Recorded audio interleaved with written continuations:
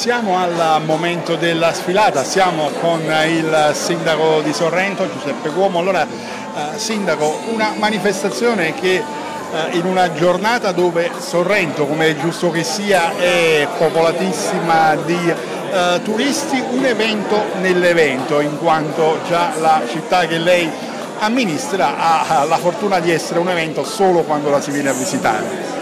Eh, certamente Sorrento oggi è palcoscenico di una notte d'arte. Eh, L'arte ovviamente non poteva escludere il museo Correale e come viverlo nel miglior modo con una sfilata di moda.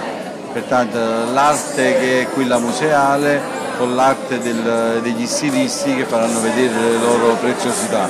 Sorrento oggi è protagonista in questo tour che vede tutta la città protagonista.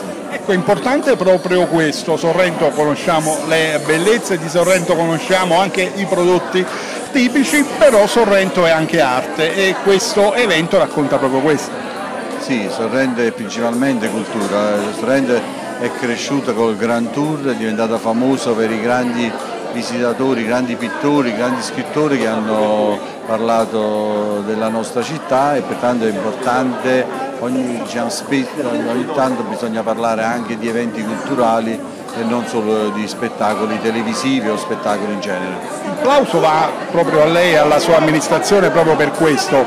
Io prima, ecco, fra le mie considerazioni dicevo ci sono dei comuni che stentano a, a creare eventi, chi invece come Sorrento che magari non ne ha bisogno perché è un biglietto da visita mondiale invece si dà da fare anche in questo senso e questo vuol dire che lei e la sua amministrazione siete attenti a 360 gradi.